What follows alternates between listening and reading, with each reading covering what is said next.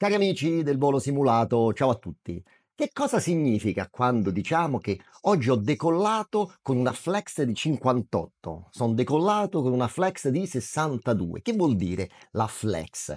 Vuol dire che noi, quando decolliamo, non usiamo tutta la potenza del motore. È rarissimo decollare con tutta la potenza del motore. Lo facciamo soltanto in piste cortissime o quando siamo molto pesanti.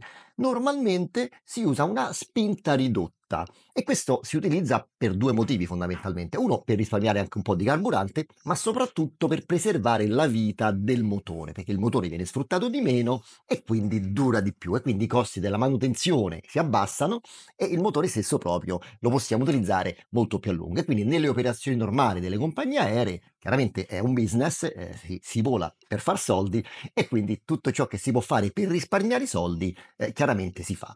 C'è da dire anche che usando meno carburante si inquina anche di meno e quindi perché no? Allora, come si fanno questi calcoli? Perché noi non è che diciamo al computer che poi gestisce la potenza e la spinta dei motori, semplicemente oggi riducimi la spinta del 10%, del 15%. No, si usa questa temperatura flex è una sorta di inganno. Andiamo a scoprire con questo grafico che si intende per inganno. Come vedete da questo grafico, quindi, questa linea blu è la spinta che è in grado di erogare il motore in base alla temperatura esterna. E quindi all'aumentare della temperatura e fino ad un certo valore che noi chiameremo TRF, come vedete la spinta è costante. Dopodiché quando la temperatura dell'aria è veramente molto molto alta, allora la spinta del motore si riduce progressivamente. Allora, cosa succede? Che Oggi, per esempio, eh, facciamo il caso che eh, la temperatura attuale sia questa qui, e quindi sia più alta della temperatura ref, eh, e quindi ecco là che il, la spinta massima, la spinta che, massima che può erogare il motore è questa qui della riga, della riga rossa. Allora noi cosa facciamo? Noi ci facciamo i calcoli delle performance oggi del decollo, in base alla, alla, pista, in base al peso e magari ci rendiamo conto facendo questi conti che effettivamente noi possiamo decollare con una spinta ridotta. Diciamo che questa spinta che eh, identificata da questa eh, freccia arancione eh, e ci basta, fate tutti i conti, eh, garantendo tutti i margini di sicurezza, la lunghezza di pista, eh, le, le velocità, velocità, poi caratteristiche che vedremo nel prossimo video proprio. Allora noi cosa facciamo per dire al computer che gestisce la spinta del motore dammi questa spinta e non di più.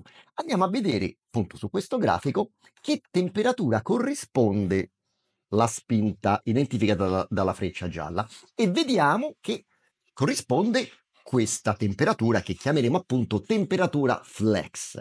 Allora noi cosa facciamo nell'FMGS?